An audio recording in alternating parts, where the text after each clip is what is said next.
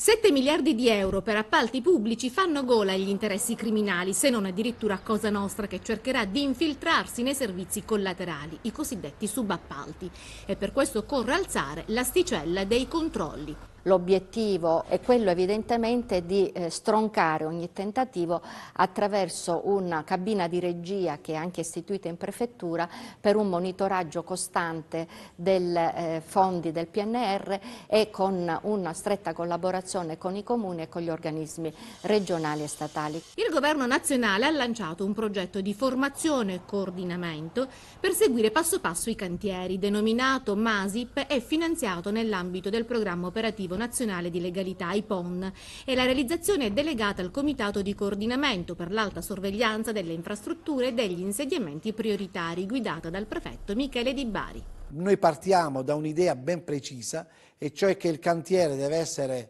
presidiato sin dall'origine, c'è il settimanale di cantiere, c'è il monitoraggio finanziario, c'è la informazione antimafia, cioè strumenti utili che sono dentro un'unica filiera e tale da evitare che possano esserci tentativi di infiltrazione mafiosa.